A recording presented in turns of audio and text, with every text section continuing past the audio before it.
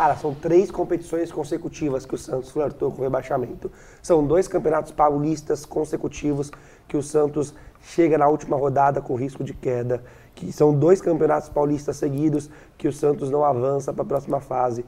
E Libertadores, todo, primeira fase. O torcedor, o torcedor do Santos sabe disso. Eu não tô, tô só repetindo que o torcedor do Santos já sabe. Mas eu vou dizer uma coisa: tanto São Bento no ano passado quanto Água Santa esse ano, cara, o Santos deu uma sorte de ter pego esses times na última rodada, porque o Santos conseguiu chegar na última rodada precisando de uma vitória em casa contra times infinitamente piores que o Santos. O que o Água Santa jogou neste sábado foi pior que o São Bento tinha jogado no ano passado. O time do Água Santa, que ainda saiu na frente, é horroroso. Horroroso. Muito ruim. Se o Santos tivesse pego o Ituano, o Mirassol na última rodada, que é um pouquinho melhor, o Santos teria muito mais dificuldades. O Santos teve sorte.